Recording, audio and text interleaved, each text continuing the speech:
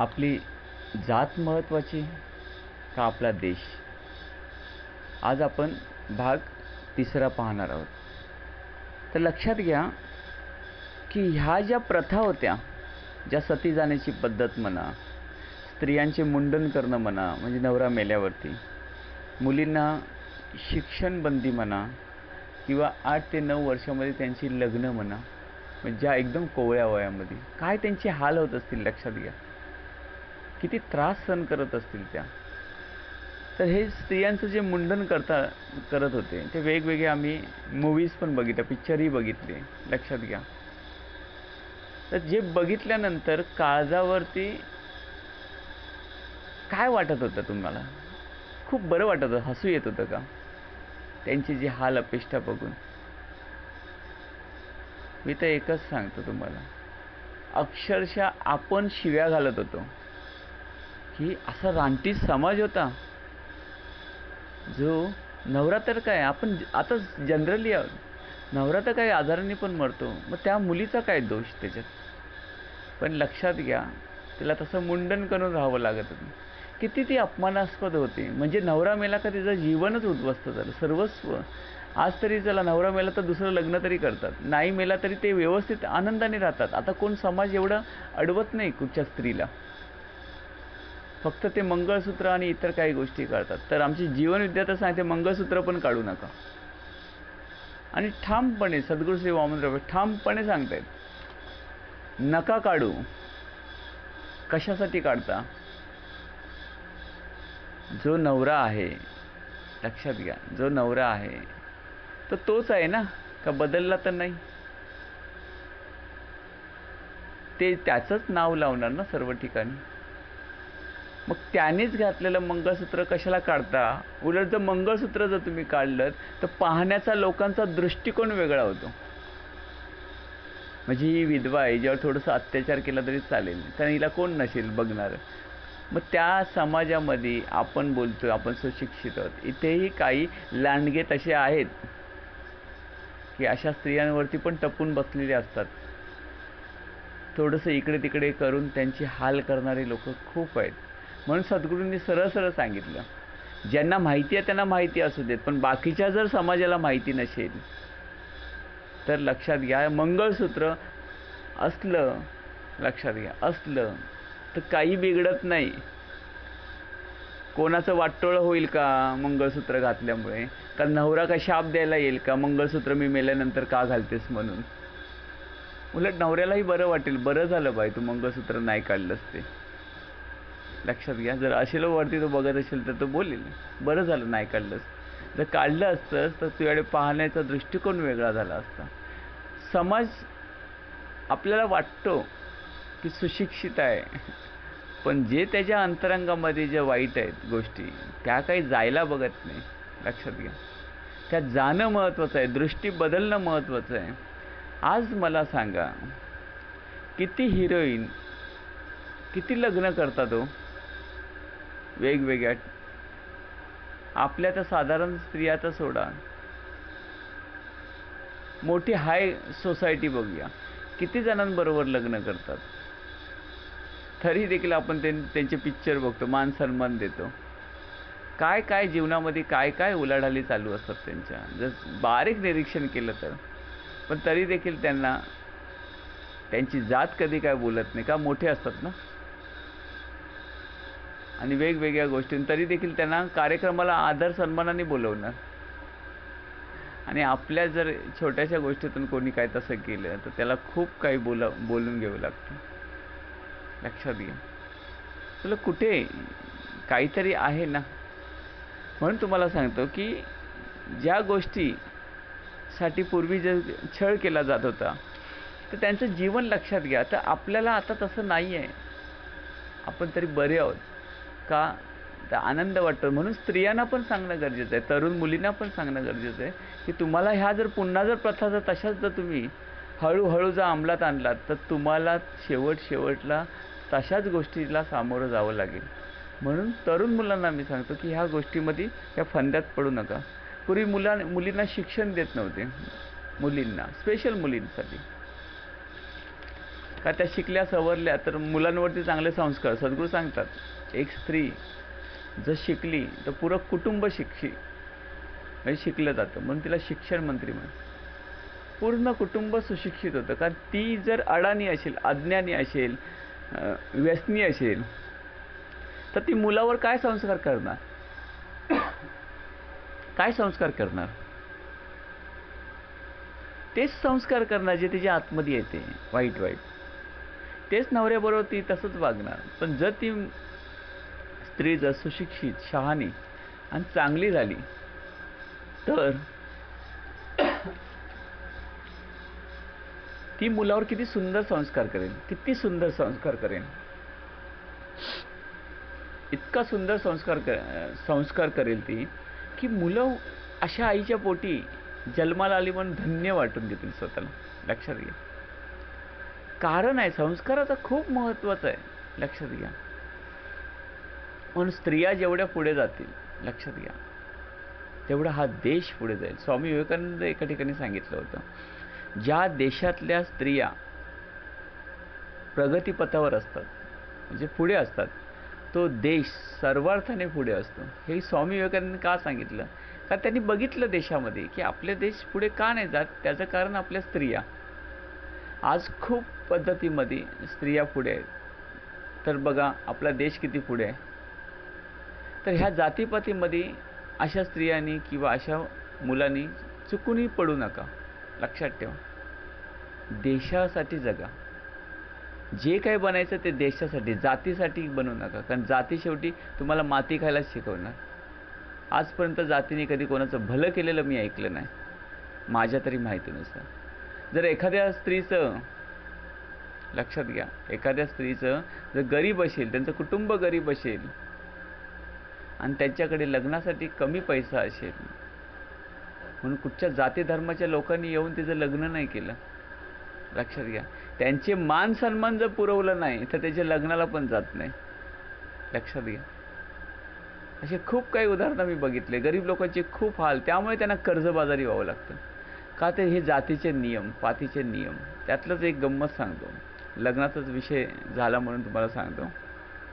की एका गावामध्ये आमचा एक नामधारक राहायचा. त्याचं लग्न वगैरे झालं. खूप. पण त्याचं त्या गावामध्ये अशी एक प्रथा होती की बोकड कापायचा. म्हणजे शेळी कापायची. आणि ती सर्वांना गावातल्या लोकांना खायला द्यायचा. लक्षात जा त्याचा बळी दिला जायचा त्या देवीसमोर. तर ती प्रथा योग्य. तर हे हे त्याला मान्य नव्हतं. बोलं मला तर हे गोष्टी मान्य नाही. सद्गुरूंनी ह्या गोष्टी किंवा असं काही चांगलं आम्हाला चांगलं माणसावर प्रेम करायचं तसं प्राण्यावर प्रेम करायचं. त्याला मारून काय होणार आहे? माझं भलं नको माझं नाही झालं तरी चालेल.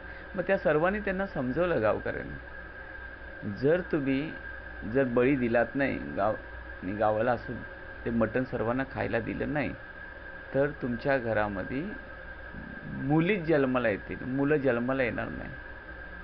असं सांगितलं. तर बोललं चालेल. मुली जन्माला आल्या तरी चालेल. पण मी काय बळी खूप खूप नातेवाईकांनी सर्वांनी भावंडांनी सर्वांना त्यांना सांगितलं. तुझ्याकडे पैसे नसतील तर आम्ही देतो. लक्षात घ्या. पण तू हे कर. त्यांनी ठामपणे विरोध केला ठामपणे विरोध केला एकदम. मला ह्या प्रथा मान्य नाही. एखाद्याचा जीव जाऊन जर माझं भलं होत असेल तर बिलकुल मला भलं करायचंही नाही माझं. आणि माझ्या विरोधात जर असेल तर ह्या बायकोला सोडून जाईन इकडेच नाही तर. किंवा हे गाव सोडून जाईन. मग शेवटी त्याने ठीक आहे सर्व समजव समजूत काढली गावातल्या लोकांची काही त्यांच्या वडीलधारी माणसाने.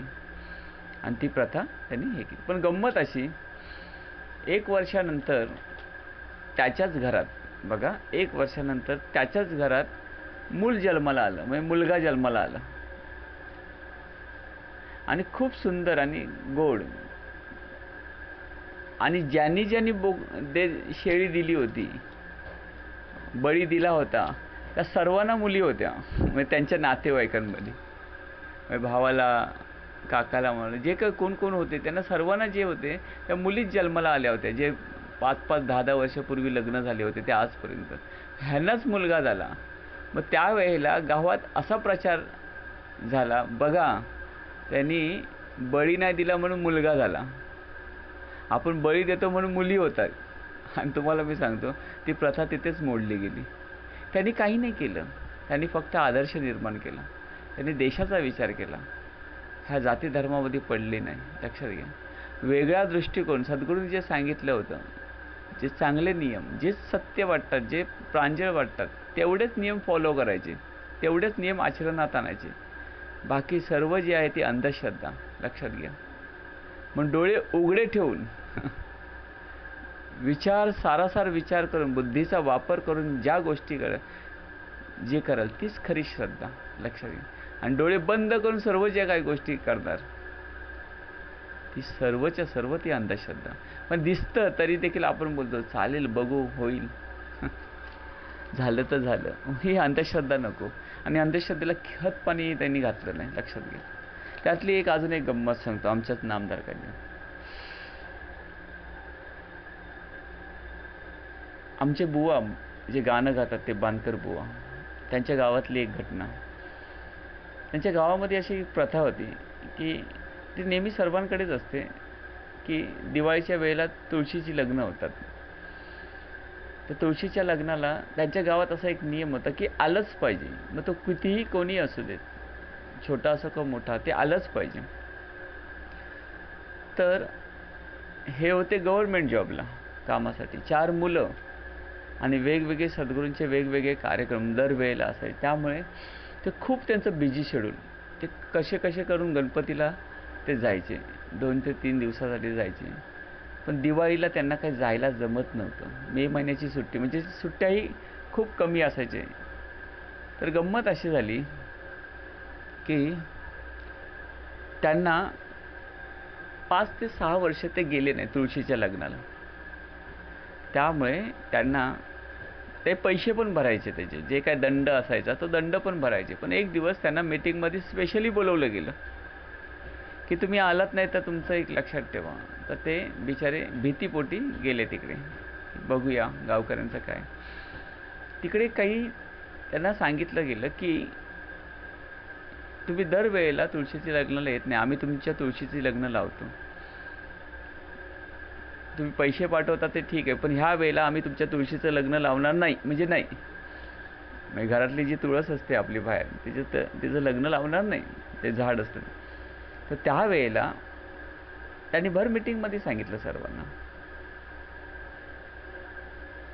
नाही लावायचं असेल तर नका लावू. कारण तुळशीचा जो नवरा आहे तो ऑलरेडी मला माहिती आहे की नारायण आहे. आता मला सांगा आपण किती वेळा लग्न करतो? एकदाच ना? पण दरवर्षी त्याच नारायणाबरोबर त्याच तुळशीचं लग्न कशाला लावायला पाहिजे? आपल्याला माहिती आहे ना त्याचं तिच्याबरोबरच लग्न आहे. तर कशासाठी? मला मान्य नाही तुम्हाला वाटत असेल तर लावा नाही लावलं तरी चालेल. सर्वांना ते ऐकून आश्चर्य वाटलं. की बरोबर आहे. तुळशीचं लग्न कोणाबरोबर आहे? नारायणाबरोबर लागलं. मग सारखं सारखं दरवर्षी का डिवोर्स घेतात? की बाबा नाही. अकरावा महिना झाला किंवा बारावा महिना उजळायच्या अगोदर ते दिवस घेतात. पुन्हा मग लग्न होतं. असं आहे. काय काही गोष्टी सम समजून घेण्यासारख्या त्यांनी इतकं माम मार्मिक उत्तर दिलं ते एकही गावातला एकही व्यक्ती काय बोलू शकला नाही. जर ते खोटं असेल ते तरी सांगा. ब नाही तिचा नवरा नाही आहे तुळशीचा.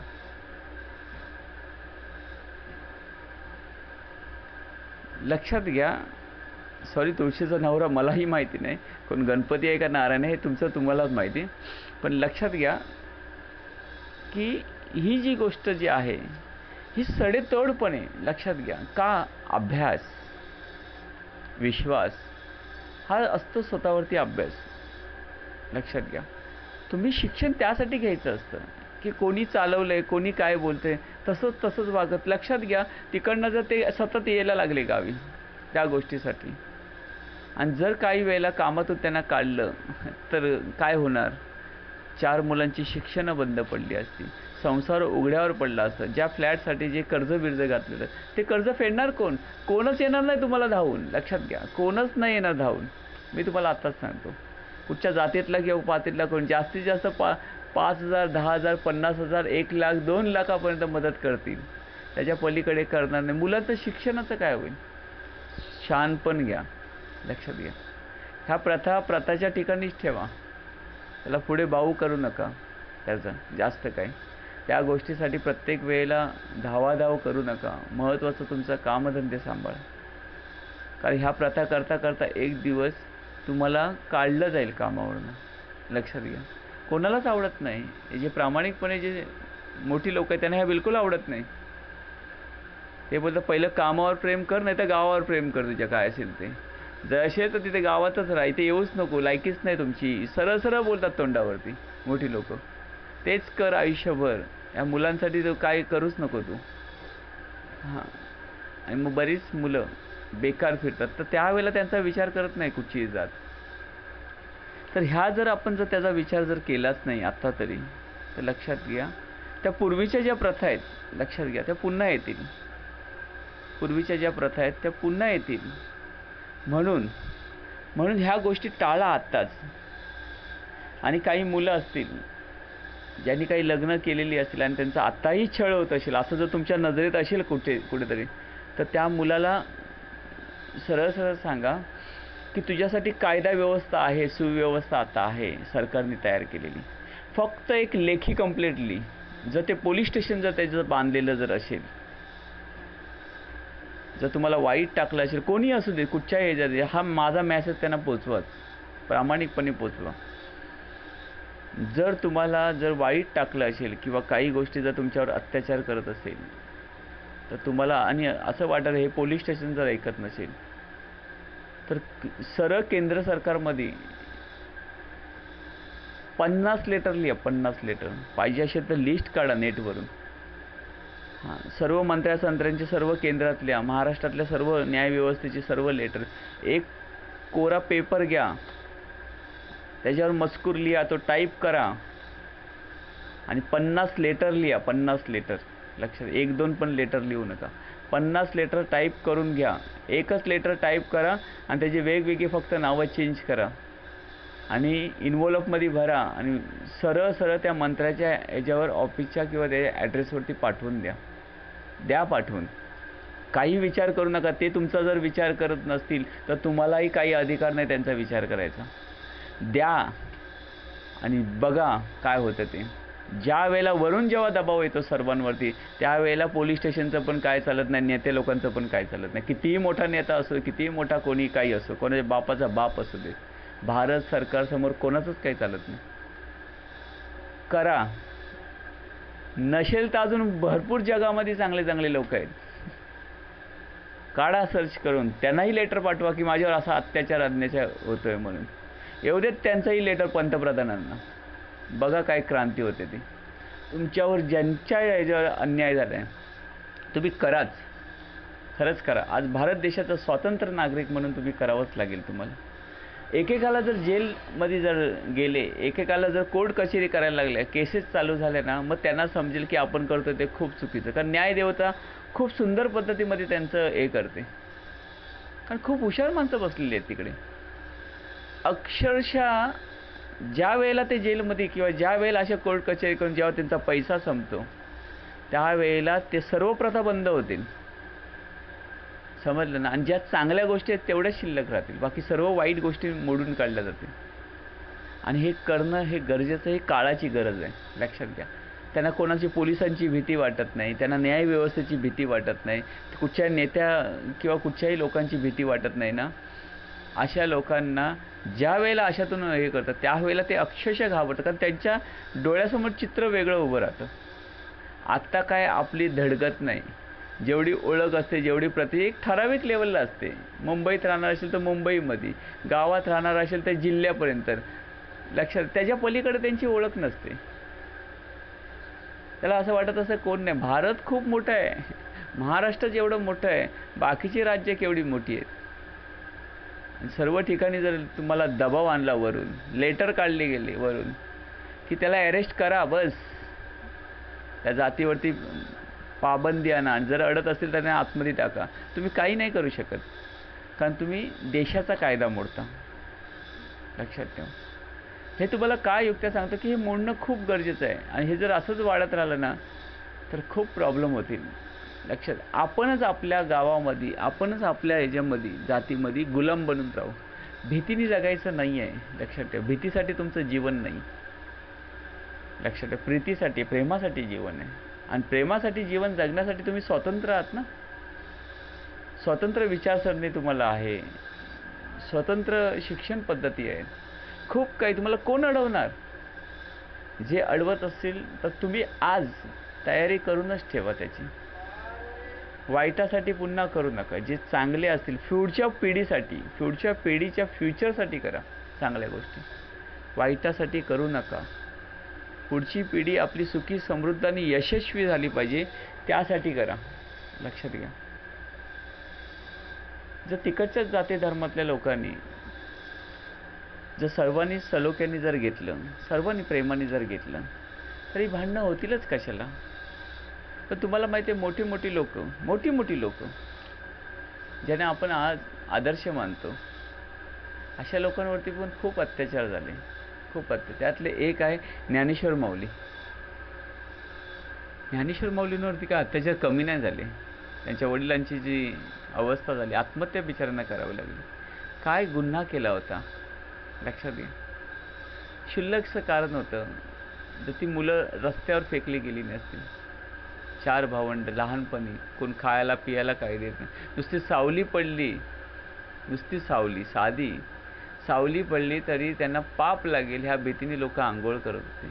केवढं मोठं. काय त्या भावंडांवरती?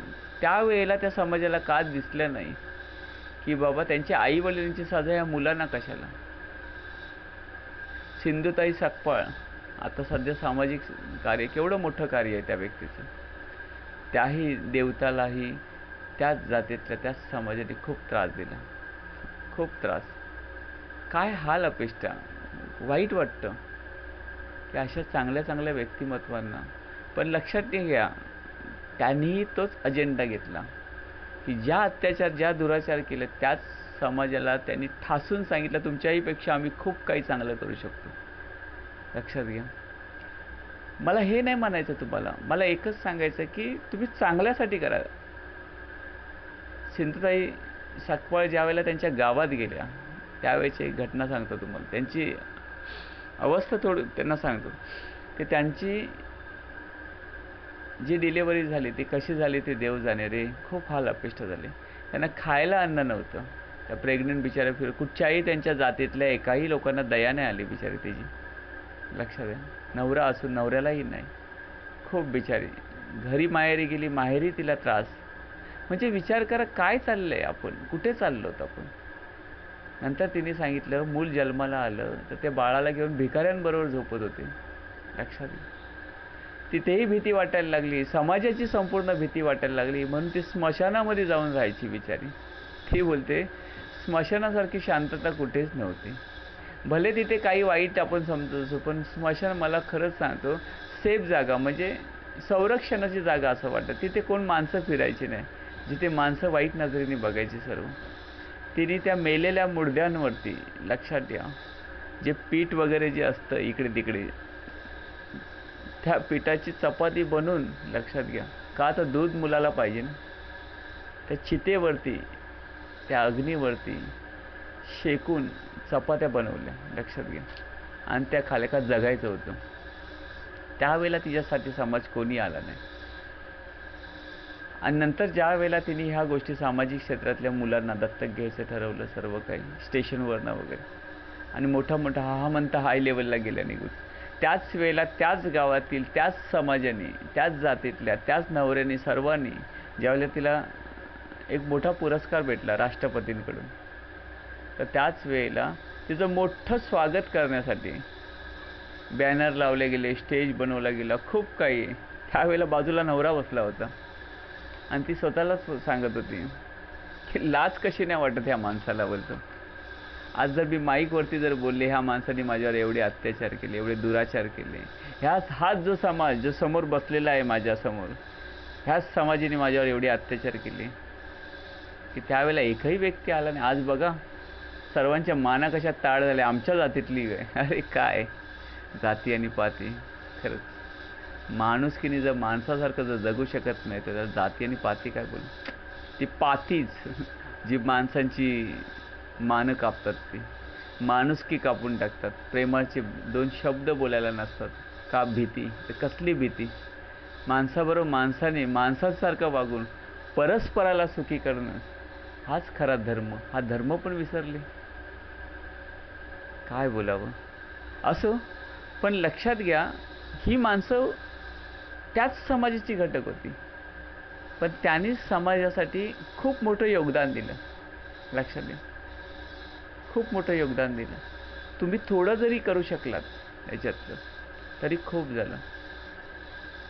एक साधारण सध्या कसं होतं लग्नाचं खूप मोठं हे होतं की लग्न केल्यानंतर खूप. पण त्यांना एकच गोष्ट सांगा जर समजा तुमच्या एकाच्या मुलाने वेगळ्या जातीची समजा एक कल्पना करा की भारताचा पंतप्रधान आहे. कल्पना करा. की त्याच्या मुलीशी जर लग्न केलं तर त्याला वाळीत टाकेल. वाळीत टाकेल का? तुमची जात. कल्पना करून बघा.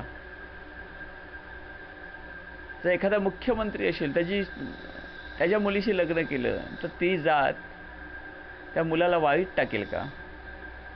इंग्लंडसारखी अशी जी राणी असतात किंवा मोठे अशी कल्पना करा की अशा कुठच्या तरी राजकुमारीने त्या मुलाशी लग्न केलं. कल्पना सांगतोय फक्त. तर तुमची जात त्याला वाईट टाकेल का? एका राजा महाराजा खूप हाय लेवल पॉवर ज्याच्याकडे खूप खूप पैसा आणि पॉवर आहे खूप. अशा मुलींची जर त्या तुमच्या जातीतल्या मुलांनी अंतर वेगळी जर अशी केले जातीमध्ये तर त्याला वाईट टाकतील का? वाईट टाकतील तर त्यां त्यांची जात पूर्णपणे नष्ट करून टाकतील ते लोक लक्षात घ्या. ते अशा काही गोष्टी करतील की ज्याची कल्पनाही केलेली नसेल. म्हणून मी तुम्हाला सांगतो की हे नियम फक्त छोट्या लोकांसाठी खूप फॉलो केले जातात. मोठ्या लोकांसाठी नियम नाही केले जात.